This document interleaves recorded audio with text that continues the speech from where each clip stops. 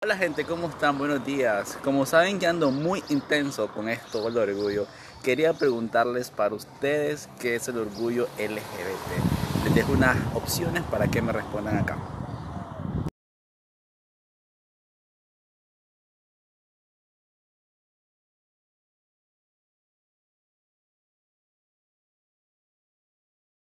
Otra preguntita, ¿ustedes cómo creen que debería celebrarse el orgullo LGBT?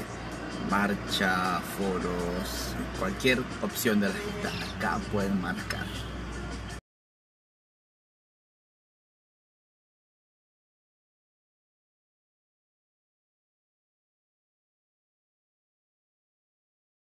Y ya para cerrar el ciclo de preguntas, ¿creen que es necesario hacer una marcha del orgullo LGBT en Nicaragua en el contexto en el que nos encontramos?